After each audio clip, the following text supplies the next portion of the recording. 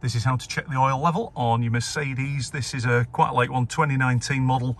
Uh, this will work on A, B, C, E. This is a G, GLC. As long as you've got these three buttons here, the sweep pad, it should work for you. So we're going to turn the ignition on first.